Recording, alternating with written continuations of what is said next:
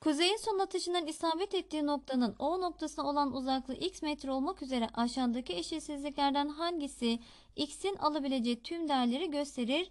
Yarıçap uzunluğu 3 birim olan O merkezli bir yarım daire var. Şimdi şuradaki aralık 1 birim olduğuna göre 1 birimin kaç metre olduğunu bilmiyoruz. Ve 1 birime y metre dersek her birim 5 eşit parçaya bölünmüş. Her bir aralık o halde y bölü 5 metreye eşittir. Şimdi A noktasının O'ya olan uzaklığına baktığımızda A noktası buradaki yarım dairenin üzerinde bulunduğundan buradaki uzaklık dairenin yarı çapıdır ve 9 bölme olduğuna göre her bir bölme y bölü 5 metreydi. 9 ile y bölü 5'i çarparsak 9y bölü 5 metreye eşittir uzaklığı. B'nin ise O'ya olan uzaklığı 11 bölme. 11'i y bölü 5 ile çarptığımızda 11 y bölü 5 metreye eşittir. Ve ikisinin uzaklıkları arasındaki fark ise 4 metre. 11 y bölü 5'ten 9 y bölü 5'i çıkartırsak 4 metreye eşittir. Paydalar eşit olduğuna göre payları çıkarttığımızda 2y bölü 5 eşittir 4. İçler dışlar çarpımı yaptığımızda 2y eşittir 5 çarpı 4'ten 20 He, ve her iki tarafı 2'ye böldüğümüzde y de buradan 10 metre bulunur. Demek ki her birim 10 metreye eşittir. Şimdi A'nın metre cinsinden değerini bulursak A'nın O noktasına olan uzaklığı 9y bölü 5'ti. Y yerine 10 yazdığımızda 9 çarpı 10 90 5'e böldüğümüzde 18 metre bulunur. B'nin O'ya olan uzaklığı 11y bölü 5'ti. 11 ile 10'u çarptık 110 5'e böldüğümüzde 22 metre bulunur. Ve son atışının isabet ettiği noktanın O noktasına olan uzaklığı x metre. A noktasının O noktasına olan uzaklığından fazla, B noktasının O noktasına olan uzaklığından da az olduğuna göre x değeri 18'den büyük 22'den küçük olmalıdır.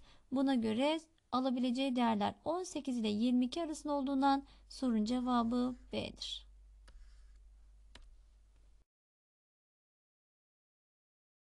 Buna göre tahtanın alanı kaç desimetre karedir? Tahta dikdörtgen olduğuna göre alan kısa kenar ile uzun kenarın çarpımıdır. Şimdi kısa kenarına baktığımızda burada 7 tane kalem var ve 7 tane kalemin uzunluğundan kısa. Her biri 12 santim olduğuna göre 7 kalemin uzunluğu 12 çarpı 7'den 84 santimdir ve dikdörtgenin kısa kenarı 84 santimden küçük olmalıdır. Uzun kenara bakarsak burada 18 tane kalem var. Her biri 12 santimetreydi. 18 ile 12'yi çarparsak 216 santim bulunur. E, dikdörtgenin uzun kenarı da kalemlere baktığımızda 216 santimden küçük olmalıdır. Şimdi buna göre e, santimetreleri desimetrelere çevirirsek çünkü tahtanın kenarları desimetre cinsinden birer tam sayı. 84 santimetreyi desimetreye çevirdiğimizde 10'a bölersek 8 tam 10'da 4 desimetredir. 216 santimetreyi de desimetreye çevirdiğimizde 10'a bölersek 21 tam 10'da 6 desimetreye eşittir. Şimdi birer tam sayı olduğuna göre kısa kenara bakarsak kısa kenar eğer 8 tam onda 4 desimetreden küçükse alabileceği en büyük tam sayı değeri 8 desimetredir. Uzun kenarda 21 tam onda 6'dan küçük olduğuna göre alabileceği en büyük değer tam sayı olarak 21 desimetredir. Buna göre tahtanın alanı kısa kenar ile uzun kenarın çarpımı 8 çarpı 21'den 168 desimetre karedir. Sorun cevabı C'dir. Buna göre bu eş kolilerden birinin ayrıt uzunluğu en çok kaç santimetredir? Ayrıt uzunluğuna x santim dersek yüksekliği 5 metre olan bir depoda tavandan 90 santim aşağı sarkan bir lamba asıldır. Şimdi yüksekliği 5 metre ise metreyi santimetreye çevirecek olursak 1 metre 100 santim olduğundan 5'i 100 ile çarparsak 500 santimdir. Ee, Lambanın boyunu çıkartırsak 500 eksi 90'dan 410 santimdir.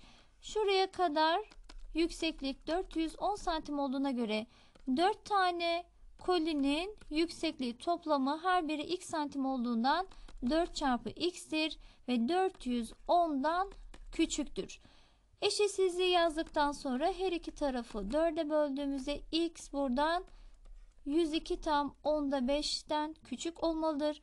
102 tam onda 5'ten küçük değerler 102, 101, 100 diye devam ettiğine göre bir ayrıt uzunluğu en çok 102 santim olmalıdır. Sorunun cevabı B'dir. Buna göre aşağıdaki eşitsizliklerden hangisi X'in alabileceği tüm değerleri göstermektedir? Tüm ürünlere etiket fiyatı üzerinden %20 ile %40 arasında indirim uygulanmakta ve kazağın etiket fiyatı en pahalı 150 TL, en ucuz ise 80 TL'dir. Fiyatların yüzdelerini bulacak olursak 150'nin %20'si 20 bölü 100 ile çarparsak sıfırları sadeleştirdik. 15 çarpı 2'den 30 TL'dir. 30 TL indirim yapılıyorsa 150'den 30'u çıkarttığımızda kazan fiyatı 120 TL'den küçük olmalı. Çünkü 120 ile %20 ile %40 arasında denilmişti. 150'nin de %40'ını bulursak sıfırları sadeleştirdiğimizde 15 çarpı 4 60'tır. 60 TL indirim uygulanırsa 150'den 60'ı çıkarttığımızda kazan fiyatı da 90 TL'den büyük olmalı. Bir de etiket fiyatı 80 TL olursa ücretlere bakalım. 80'in %20'si 20 bölü 100 ile çarparsak 8 çarpı 2'den 16 TL indirim yapılır. 80'den 16'yı çıkarttığımızda kazan fiyatı 64 TL olmalıdır. 80'in %40'ını bulursak 40 bölü 100 ile çarptığımızda 8 çarpı 4 32 TL'dir. 32 TL indirim yapılırsa 80 eksi 32'den de 48 TL'ye satılmalıdır.